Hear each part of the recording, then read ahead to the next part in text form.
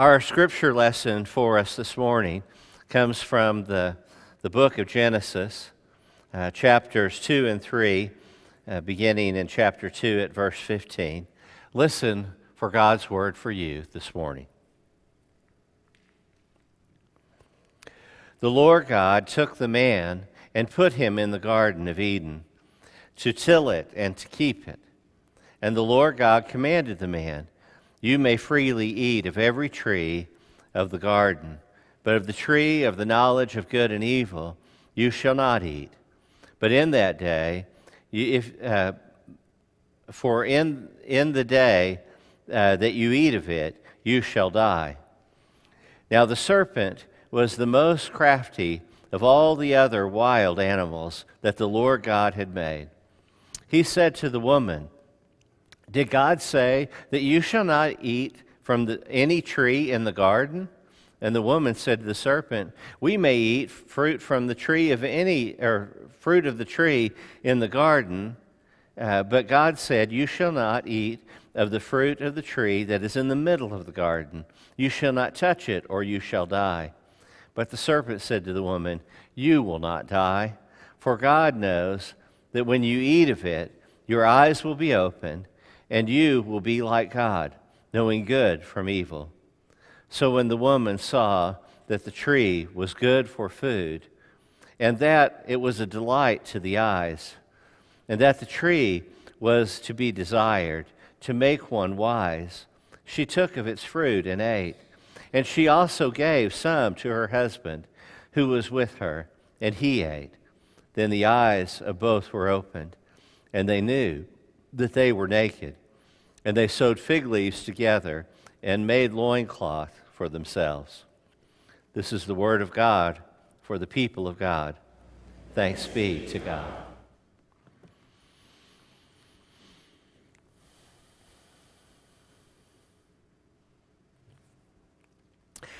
We all have uh, family stories that we tell. They uh, give us a sense of our identity and who we are. The, we all know, too, that we make uh, a lot of different choices in the stories that we choose to tell. And uh, because, you know, if you tell it a certain way or if you tell certain stories and leave out others, it can leave a different uh, image. For instance, I can tell you about my father, business owner, faithful father and husband, committed community leader. I can tell you about my mother, who's a university professor, a national lecturer, an advocate for prison education, uh, goes into the prisons to teach classes often. I can tell you stories about them and lead to one picture, or I can tell you, as I did a few weeks ago, the story of my dad who saw himself as the king of Hollies. And, uh, or I can tell you the story of whenever uh, he rode up in his uh, 56 Chevy with two four barrel uh, carburetors on it and uh, you know this loud raucous car and a guy that he had had a feud with pulled up in a volkswagen bug beside him and how at the intersection of 29th and western he and his friends parked his car and went over and rolled the volkswagen over on top of itself in the, the middle of the intersection. It, it gives you a little different picture of who my dad is. Um, I, I, can tell you the story of whenever, I, I don't know why I would have done it, but uh, I, we had this grouchy neighbor who absolutely hated me and my brother, but adored our little sister. And, uh, and but anyway, he, he was, was in his backyard and, uh, and he hollered at my dad and he said, uh, Your son's been throwing nails into my backyard. And uh, and, and my dad said, Well, no, he hadn't, you know, to, just to def- be defensive. And the guy said, Well, yeah, here they are. And he showed him three nails, and he said, That one's not mine. Those two are mine, and I threw them in your backyard. you know, I mean, he, he didn't like it, I guess. Someone, you know, going after a son, maybe. I don't know. Or maybe he just thought he was a grouch and, you know, he was going to give it back. We can all tell different stories about our family, and they, they tell us, they create a different picture of, of who we are. And um, I had a, well, I don't even, can't even tell you how long ago the first email was. You know, in, in Facebook, how you have your messages that come in, and, and every once in a while, one comes in and it's not someone who's a friend of yours, and it goes into this other folder. And I never look into the other folder. I glanced through and I saw that I'd gotten this, this message, and I just deleted it and didn't think anything more of it. I got another message from this same person uh, about, I don't know, two months ago.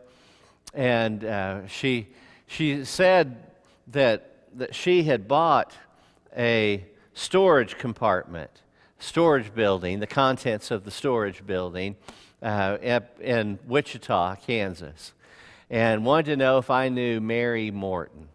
I had no idea who Mary Morton was. She said, In there, there are some pictures of Angie and Slim and Tinker, or Tom. Now, Tom was my dad, Angie is my grandmother, and Slim, they called him, uh, was my grandfather. And I said, Well, I, clearly you got, those are my family, you know. And, uh, and she had asked me if I'd done a funeral. Um, I thought she was asking for this lady, Mary Morton. And I looked in my calendars. I, I, young people laugh at me because I actually have a calendar that I write things down in. It's, uh, and I have these going back for years. And so I pulled out the calendar from the year that Mary Morton had died, and she died on a Friday. So I looked on Monday, and I didn't have anything down as having done a service then. And, and, uh, and then she said, No, no, you didn't do her service. There was a service for a Bob Keneda that you did, who was my uncle. And, uh, and, I, and so she took a picture of a few of the photos that were there. And she said that there are all these family photos, and I just wanted to see, I kept looking at them, I wanted to see if there was a way to reunite them with who they belonged and with. And, uh, and I did a Facebook search, and I came up with your name, and so she made the contact. And uh, a week or two later, uh, received a package. And what she sent me a picture of was maybe 10 photos. What she sent in the mail was maybe 100 photos. And these were my grandmother, Angie, uh, her photos. And they were family photos, some from her in childhood, some of her family, some of our family. Her birthday is July 17th. My dad's was July 19th, and mine was July 21st. And so a lot of times we would have one family gathering and celebrate all three birthdays. And there were a couple of photos that were of the three of us sitting together at the table, and I know it had to be our birthday. It's the only reason you'd have the three of us just uh, alone sitting together. And so she sent, sent these photos. And um, they're, they're family photos that go back a ways. I uh, was surprised to see how many ties there were in the, the photos. I guess they all got dressed up because I know they were dirt poor. They were not uh, well to do. But in this photo, uh, it says on the back here, Dad's uh, brother, Spiller's side. So my, my aunt, my grandmother, uh, Angie, was the Spillers before she got married. And so this is Dad's brother. So my great grandfather, great great uncle, I guess, uh, was in, in this picture, in the Spiller side. And uh, as you look through the, the photos, sometimes you, you see images that uh, look familiar. Um, this one, I thought they just looked happy, and uh, it doesn't have it doesn't really have names down. It has K and a couple of names I, I don't recognize, no last names, and it has their their ages in it. Um, but just I thought it was kind of a kind of a happy photo because a, a, nice happy photo from this era. Very few of them smiled. You remember? They they didn't smile in the photos. This was my. Uh, my grandfather, they called Slim. I called Pete, but his name was Evan. I don't know why, you know, he had all these names. But, uh, but that we always learned, we just called him Grandpa Pete. And, uh, uh, but Slim's what everybody called him, but his actual name was Evan. But he's the one right in the middle, and that's his father, uh, Tom Keneda. And uh, so that would be my great grandfather. I, I never saw him. I never, never knew who he was, never met him. Um, this is, again, the same uh, Tom Keneda and my, my grandfather Slim as a young boy. Uh, I guess I'm surprised to see him in a three piece suit because I never heard of any, any of them dressed up in that way. This was my grandmother, Angie. She, uh, when I, you know, I remember her at home, but first memories away from uh, the house and family gatherings, she worked at TG&Y. She sold uh, retail. She worked at J.C. Penney. She worked at Dillard's. She uh, uh, just wherever she could could get a, a job working in retail. My uh, grandfather had had a stroke as a young man and was on disability. Uh, the only way he earned money was that he would buy old messed up guns and he would repair them and then resell them on the market. And whatever money he could make is how he uh, got by. My dad at 13 had to take a job to help support the family. That's where he started working at the uh, Beacon Publishing Company, and he was sleeping the floors at the print shop. And uh, even told then he didn't do it right, but uh, eventually he stuck around long enough. He became the owner. And uh, uh, but my grandmother, I don't until she was in her 70s. I don't remember seeing her smile. Never saw her smile. On the back of this picture, it says, Poor thing, she wrote about herself. Um, here she is. She's the, the second from the left. That's her mother in the middle. That's Grandma Spillers. I didn't know her as Grandma Spillers. She was Grandma Donut to us. You remember me telling that story? That uh, the, my aunt, you know, we all called her Grandma Donut, and my aunt, who had just married into the family, asked, Well, why do you call her Grandma Donut? And my dad, just always the prankster, he said, Well, because back in the Civil War, she got shot through with a cannon, and uh, she has a hole in the middle. And, uh, you know, of course, Aunt Sharon would believe anything, so she'd kind of look at her to, in the light, you know, see if you can see light to kind of shine through. But uh, the truth is, she lived next door to a guy who was a hostess delivery uh, man, and he would get free broken donuts, powdered sugar donuts. And so, she, whenever she came, she would bring a bag of broken powdered sugar donuts. And as kids, we delighted. I mean, that was just like heaven uh, to have poured out. And so, she was was Grandma Donut. This is my again my grandmother uh, Angie with her three kids. Now, to let you know, her sternness, that's my dad right in the middle. So he's the, the happy, smiling, mischievous one, and she was the stern one. I still can't figure out why she sent these pictures off to Mary Morton, but these are all the family photos. Some we've never seen before. This is her, my granddad, uh, Pete. My dad's the one in the middle and then his brother and sister. Then, right after coming back from uh, boot camp and then being sent off to Anchorage, Alaska, is a picture of my dad uh, before he went out. And then, after that time, and uh, the kids grown up, I don't remember my grandpa so tall. Uh, he looks as tall as my dad. My dad is six five, and I knew my granddad was over six foot, but I didn't ever think of him as as tall as my dad. And then this is my granddad lying back in the recliner. They said it was on a Sunday afternoon, and that happens to be me on his lap. Photo I'd never seen in my whole life until uh, this lady stuck him in the, the mail to me. Uh, we have our our family stories, our stories that they give us a sense of our identity and a sense of who we are in our lives. And um, what we have in the Old Testament, particularly in these first chapters of Genesis, I think are the equivalent to our human family stories.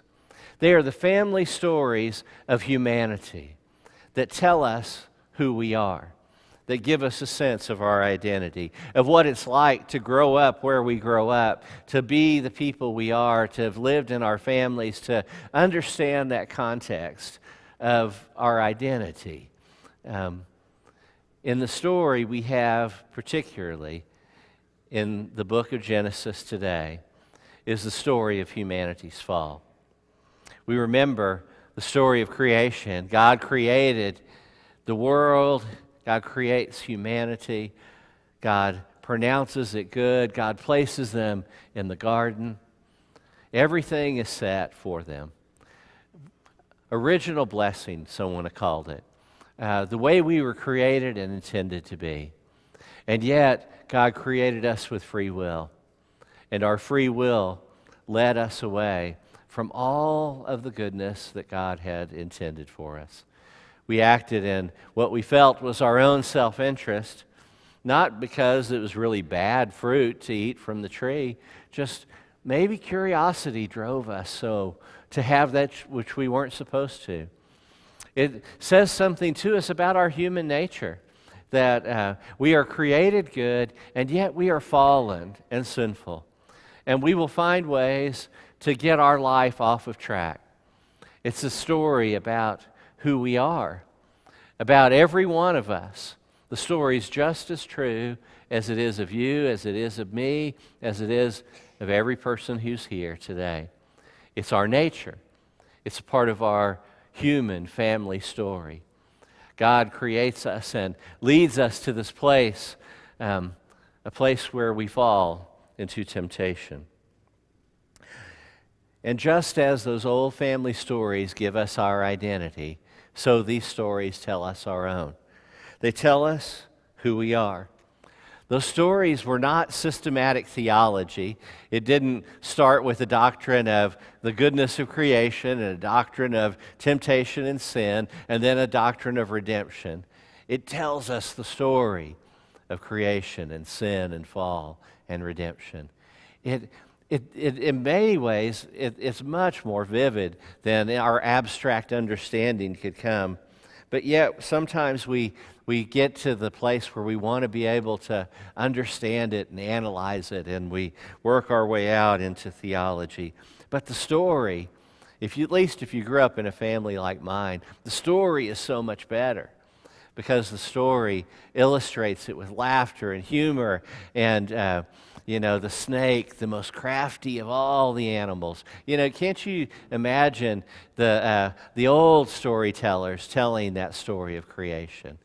Uh, you got to have a villain in there, right? You know, woven in there and uh, tempting us away. Maybe like the stories that family told us whenever we would go to bed at night. I remember we it was always our practice as the kids were growing up that uh, Angie would go with one of the kids and read them a story at bedtime, and I would go with the other and read them a story at bedtime our kids slept in their beds. They did not sleep in ours. If they came in and slept in ours, we immediately got them and took them to their bed to go back to sleep. Um, but we, we would take him and we would lay him down and we'd go through the story. And I remember so clearly Thomas saying one night, you know, asking, What story would you like? And he said, None of those. Tell me one of the family stories. He wanted to hear about who he is. He wanted to know the family story that would define who he is. When we gather for worship, part of what we do is to tell our family story, to fe- tell who we are as human beings, the goodness of our creation, our brokenness and sin, and then this relational life that we live with God. God redeeming us and restoring us, us being on the good path for a while, falling away, and then for God to come after us again. When we hear the story of the prodigal son, we hear and we see ourselves in the story. We know as we've fallen away and we have wandered away from God's goodness. We know what it's like to have been there. And we know what it's like when we have decided to turn and come home to find the embrace of God and the welcome. We know what it's like to have been the one who was the good all along while the other was out messing things up. And to stand outside the door with our arms folded and saying, I am not going in for a party for him. We've done it, haven't we?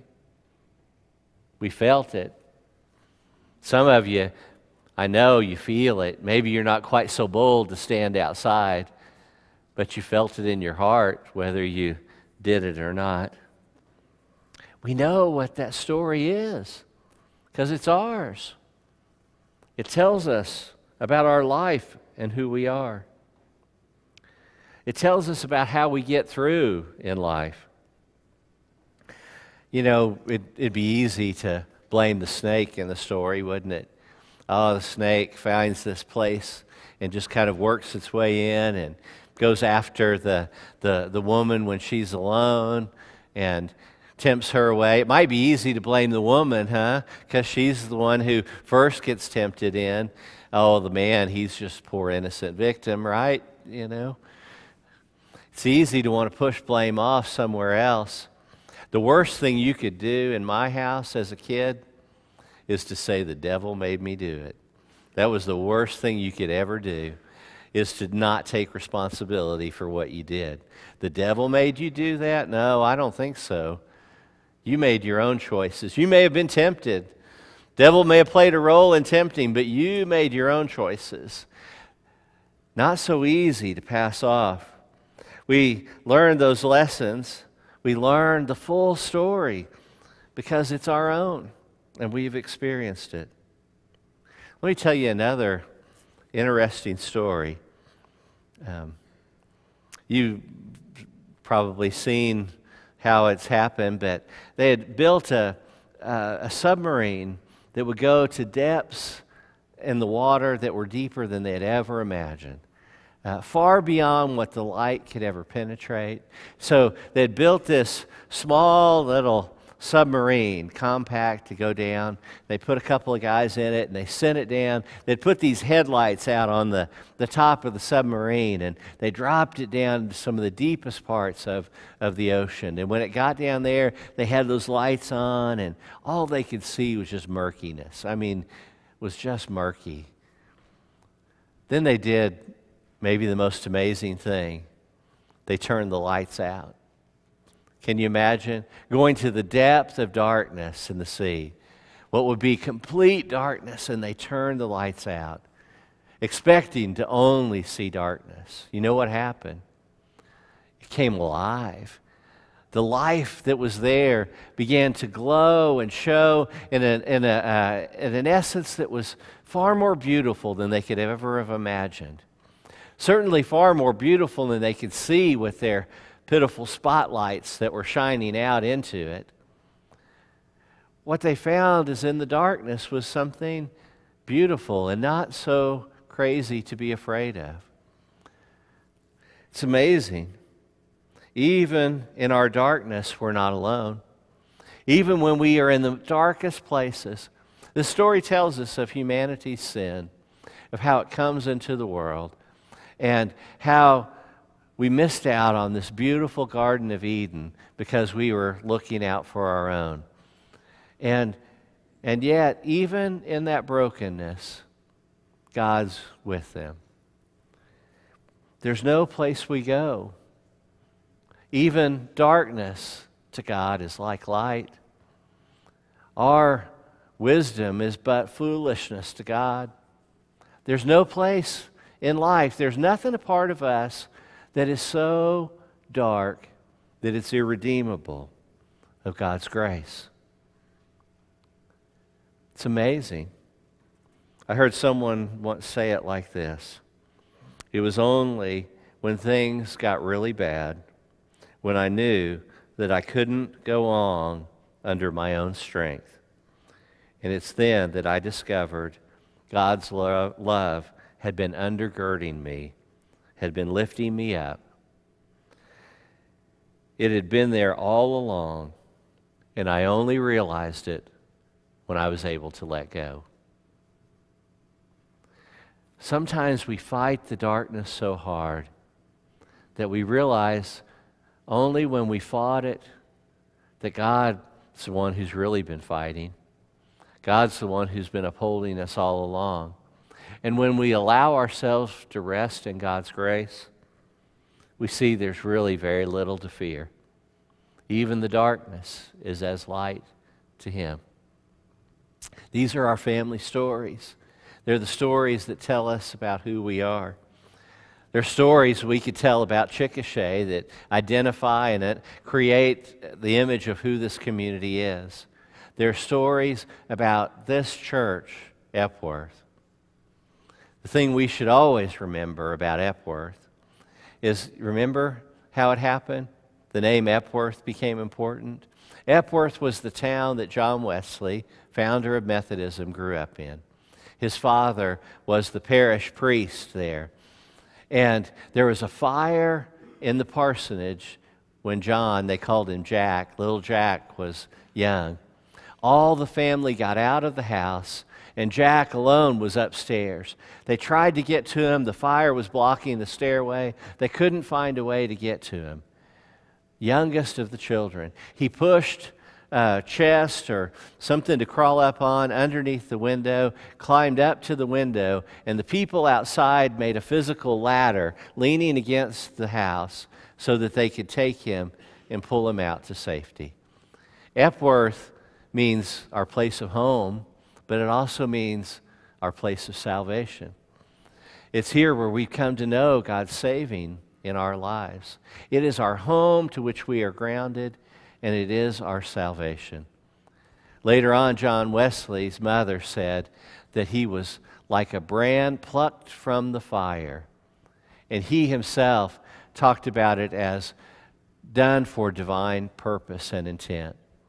That's the other part. It's not only our home, and it's not only the place in which we experience God's salvation, but it's also here that we find our purpose and our mission and our intent for life. God grounds us with this story, with this place. And when we come here, all parts of that are here for us. It's our home to which we belong. It's the place where God's grace is outpoured, and it's where we find our purpose and our mission in life. Amen.